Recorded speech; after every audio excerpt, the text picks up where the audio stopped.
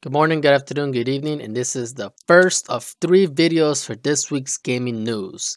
And let's start it off with Ubisoft wondering why no one wants to buy it. Um, this has come in especially with the huge six months of acquisitions that have occurred with Activision, Bungie, Bethesda, and so much more occurring and most likely coming through, Ubisoft is questioning itself and saying, how come nobody wants to put some money on the table and acquire us? Well, there's so much reasons why. Let's talk about it. So, this is a article by Artgrind.com where it states Ubisoft doesn't understand why nobody wants to buy it. Well, why nobody wants to buy it? Let's let's talk the truth. Let's talk what's going on.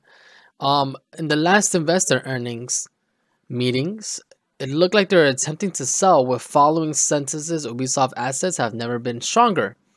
We've had the best games in the library in our history. This is all information, this is all statements coming from the CEO, uh, along with, and I quote, in fact, we've had uh, some questions in the uh, solidarity of the industry, like, I would like to understand why they haven't been receiving any purchase proposals uh, such as value that will bring the uh, bring onto the table. The CFO replies, uh, "We are not going to speculate on why we didn't have proposals, um, but we are interested." And then uh, very quickly interrupted by the CEO saying that let's not speculate on that. So, Ubisoft has a reputation right now of not producing well established games. That's one reason why. Two, Ubisoft is continuing to trying to implement the NFTs into the gaming market and they're pioneering it and they're staying strong on it. Gamers are not approving over it, which has been affecting their um, bottom dollar. They have been taking a loss in the last two quarters.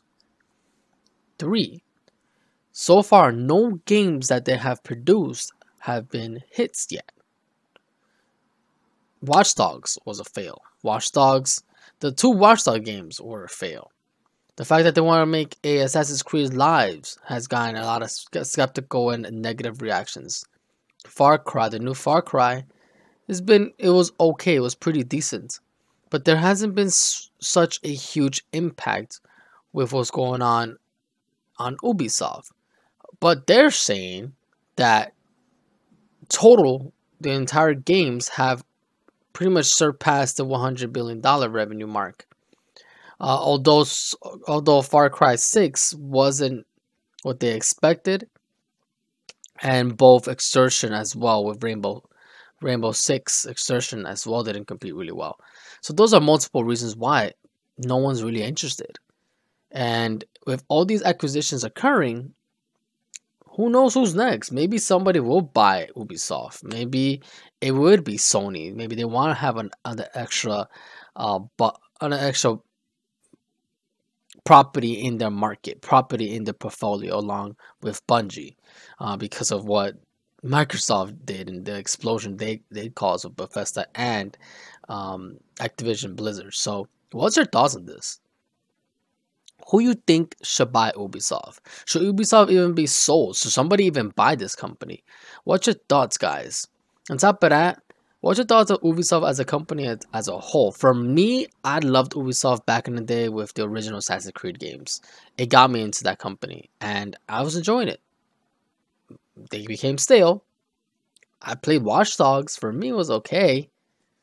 But, eh, let me know your opinions in the comments below, guys. Don't forget to like, share, and subscribe.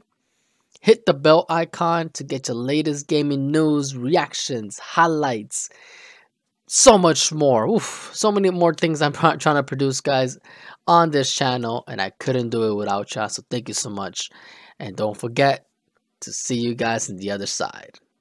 Cheers.